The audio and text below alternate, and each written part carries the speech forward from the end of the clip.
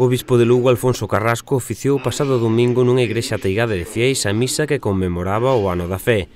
O acto que tivo lugar en Chantada comezou ás 12 do mediodía.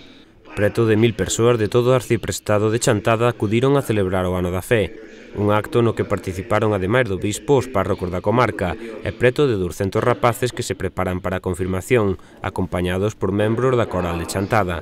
E foi unha celebración moi moi sencilla, pero penso que moi moi moi digna.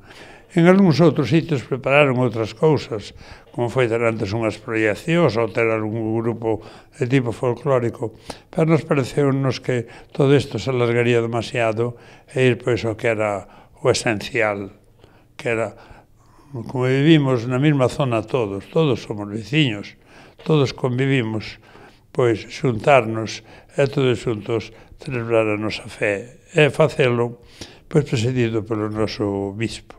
Alfonso Carrasco, que acababa de chegar dunha peregrinación a Roma, dirixiu aos asistentes na celebración da misa.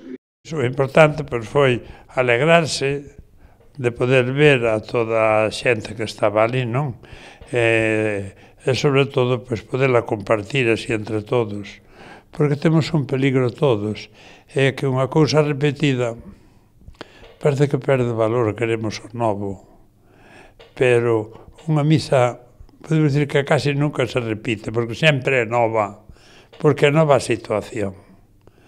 Entonces, temos tido moitas misas, pero a misa do outro día pois tiña un sentido especial, porque era o mismo Jesús que falaba a cada un dos que estábamos ali.